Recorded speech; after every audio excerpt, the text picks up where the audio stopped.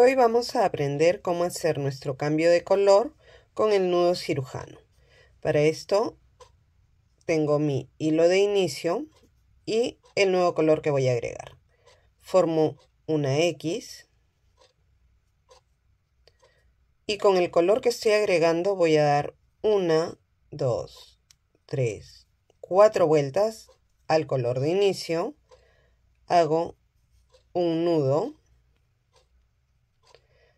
Voy a jalar los cuatro extremos. Voy a ajustar esta parte. Y voy a jalar nuevamente.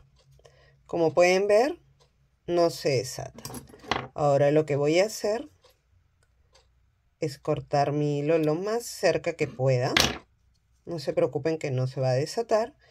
Y voy a poder continuar con mi labor.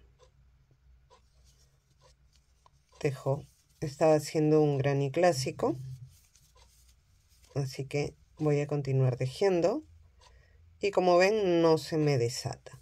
Es el nudo más fuerte que he encontrado para poder hacer mis cambios de color sin que se noten.